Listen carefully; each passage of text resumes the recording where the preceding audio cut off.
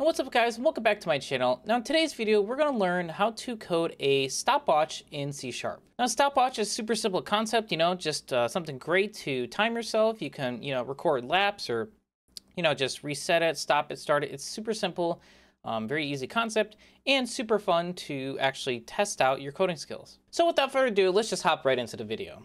So what you're gonna wanna do is open up Visual Studio 2022 here, create a new project. We're going to go ahead and select a Windows Forms app as our um, project template, and then we're going to go ahead and call it Stopwatch. And then click Create. All right, guys, now that we've loaded into our project here, let's just start by setting up the interface and adjusting a couple properties. So what we're going to do is just make the form a little bit bigger so it's easier to see some stuff. We're going to click on the form as a whole, go down to the bottom right, and we're going to change the name of it. So instead of Form 1, we're going to change it to say Stopwatch. What we're also going to do is instead of the name being form one, we're going to say stopwatch. And honestly, you know what, make stopwatch one word instead of putting a space in it, just because it, it looks a little bit better. But now that we've done that, um, let's just change the background color from this white to whatever color you want. I don't really know what color I'm gonna do yet, but you know, let's figure it out. We could do, I don't know, let's just do this light blue or something. So we'll do this as the background. And then let's go ahead and drag a few components that we're going to need onto the screen. So go ahead and find a label, and this is going to be your main label for the entire you know, app. It's going to be in charge of displaying the actual running time as it stands. So go ahead and drag this label onto the screen. We're going to instantly change a few properties. So go ahead and turn auto size um, to false. That way we can expand it as much as we want. And go ahead and make it like the top portion of the screen basically. And then we're going to adjust our text align property from being top left to top um, center here.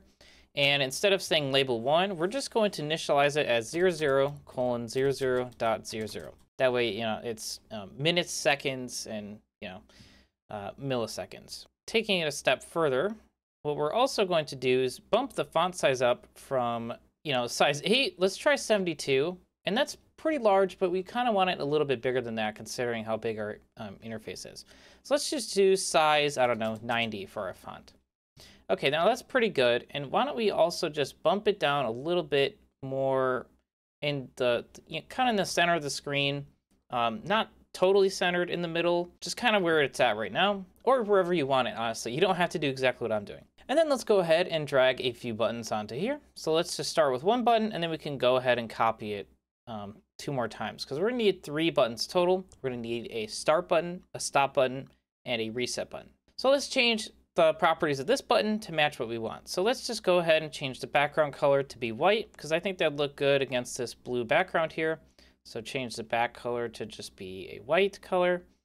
We're going to change the font, change it to like size 10 instead of whatever it is right now. We're going to change the text from button one. This is going to be our start button. So just say start. We're going to change the name of it from button one to be start button. Honestly, that's all we're going to need for now. So go ahead and copy this and paste it. And let's put it right next to this one. Copy and paste one more time. Put it right over here. And as you notice, we ran out of room, so we will have to adjust the width a little bit here to kind of get things to work. So why don't we just reduce the size of everything a little bit and just kind of even out as best we can. And there you go. Now let's change the middle text, or on this middle button here. And instead of the name being button one, we're going to say this is the stop button. Let's go ahead and do that. And instead of saying start, we're going to say stop. And then this last one's going to be our reset button. So we're going to say reset for the text, and then reset button for the actual name of the button. And there we go, guys. We have our UI laid out. This is all you're going to need. So now the next step is to open up the backend code and create some methods that we're going to use. So go ahead and click on your button here and just double click and now automatically not only open the backend file, but it'll also add a start button click method that we can use later. And then we're gonna go ahead and do this with the stop button and then with the reset button as well. So now we have functions or methods or whatever you want to call them for all three of our buttons, which is great. And now the only other thing we're missing is we do need a clock or like a timer on the form of the page that we can use in the backend to actually make this whole thing work. So go ahead in your toolbox and scroll down to where you see timer and just drag it onto the screen. You'll notice it'll create this little thing down here to the left. So instead of timer one, we're going to just create or name it form timer. And instead of the interval being 100, we're going to put it in 10 milliseconds. So you might ask yourself why it's necessary for our timer to have an interval of 10 seconds.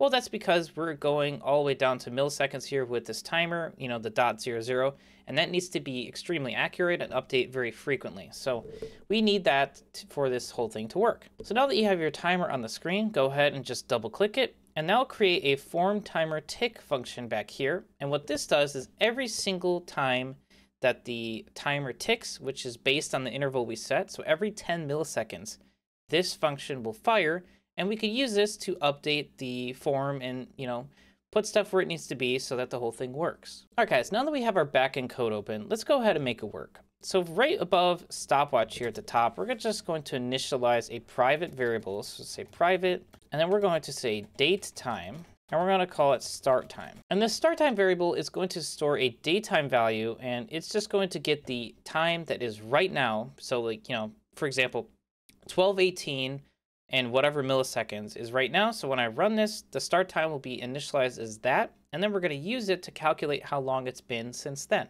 So let's go ahead and start with the easiest function of all. How are we going to start our timer? Well, it's two simple lines of code. So first we're going to say set a value to start time. And what I mean by that is our start time variable we just created is going to be equal to datetime.now like I said earlier, so we, we click start, it's going to say, hey, what time is it? Datetime.now is that time. Put it, you know, as the start time. And then the next thing we're going to do is go ahead and start the timer. So we're going to say form timer dot start. That way it'll actually start the timer running and then that will create or that will make this timer tick method um, fire every 10 milliseconds. All right guys, let's move on to the stop button click method and this is probably the easiest one of all. It's literally just form timer dot stop because it's just going to stop what we're currently doing. It's not resetting anything. It's simply pausing it and we could start it again if we want. So that is literally all you need for the stop button method. All right, guys, moving on to the reset button. So this is just going to be, you know, if it's it has whatever time on it, we just want to kind of start over, right? So not only do we need to reset the label that shows how much time has passed, but we also need to just stop the timer from running. That way, you know, it doesn't it doesn't just keep running infinitely. So first we're going to go ahead and stop it. So form timer dot stop is what we're going to do. And then we're going to go ahead and set the watch, or sorry, the, the label on our form, which actually, now that I think of it, I don't think we've ever named this. So go ahead and click your label and scroll down to where it says name. And you'll notice it still says label one. So let's just change this to say um, watch label. And then in the back end here, once we're resetting and we've stopped the timer, we're going to just say, hey, the watch label.text, let's set it back to what it was originally. So 00 colon 00 dot 00. And that's just going to be a nice way to reset all of our stuff. All right, guys, we have one more function to do here, and then we are basically done. We know how to start the timer, we know how to stop it, we know how to reset things. But how do we actually make this work? We know we have the starting time set to, um, you know, datetime.now, so whatever time it is when the, the user clicked start. But how do we calculate how long it's been since then, um, since, the, you know, right now, uh, and then display that on the screen? So what we're gonna do is first use something called a time span. So let's add a comment. We're gonna to calculate how long it's been since start. And what we're gonna do is time span, and then we're just gonna call it span. And that's going to be equal to what it is right now minus the start time. The reason is, is because, okay, start time was whenever they clicked go, and that could have been 10 seconds ago. So hey, it's been 10 seconds minus, you know, how long ago was that? And that's you know, how long it's been since we clicked start. So we're kind of doing like the some quick subtraction and then just displaying it on the label. All right, guys, and now it's time to actually display that time span value we just calculated onto our label. So we're gonna say watch label dot text is equal to our time span, but the problem is it's a time span object and it's not a string object. So let's go ahead and say that we're going to convert it to a string. But that's not all. We also need to say, you know, what kind of formatting do we want um, to display on this label? So you could say at and then do two double quotes. And we want to show um, how many minutes, which is denoted by double lowercase m. Then we need a backslash and a quote, or sorry, not a quote, a colon. Um, you have to escape it with this backslash here. And then we need seconds, which is uh, two lowercase s's.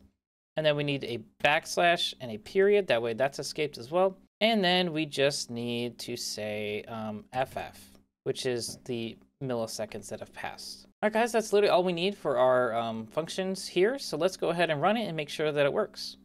So we go ahead and click start. If I click the start button here, we should go ahead and have a running timer. So that's awesome. So we have it running. And if I click stop, it should accurately pause it. And it does. You notice it pauses it right when we clicked it. And if I click reset, it should set it back to zero.